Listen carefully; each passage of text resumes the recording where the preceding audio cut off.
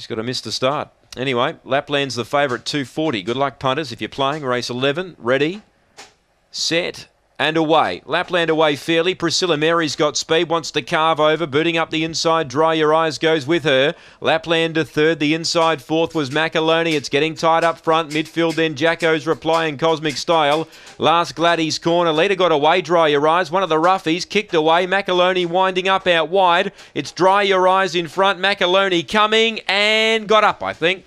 I think Macaloni got there in the end from Dry Your Eyes the inside Lapland and Priscilla Mary fourth. I think in that order. Gladys corner, Jacko's reply, Cosmic Style towards the rear. The one has arrived in the nick of time.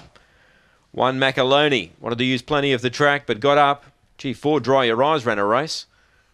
850 a place. Number four, seven third. Priscilla Mary's held third, in fact, in front of two Lapland.